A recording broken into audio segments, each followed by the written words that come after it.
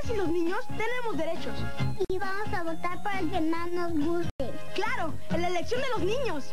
Si tienes entre 6 y 12 años, este 6 de julio acompaña a tus papás a votar y vota por nuestros derechos. Habrá una casilla infantil cerca de tu casa. Si tienes alguna duda, llama a Ifetel. Este 6 de julio la elección también es nuestra. IFE y UNICEF te invitan.